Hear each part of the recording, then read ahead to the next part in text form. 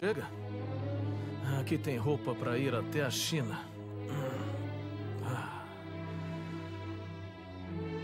Querida, querida, não temos muito tempo.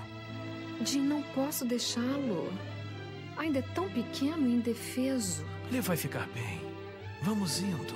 Se ele acordar, não vamos conseguir sair. Tadinho, eu me sinto tão culpada largando ele assim. Bobagem. Ora, o que há com a Lady? Ela acha que estamos abandonando o bebê.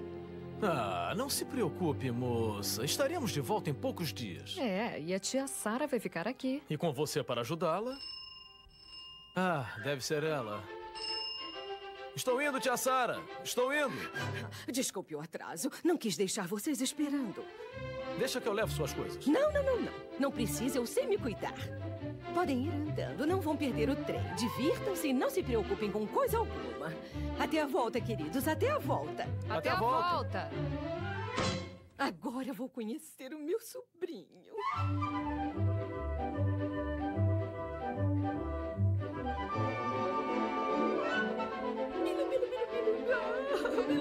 Bilu. Ai, que coisinha mais fofa.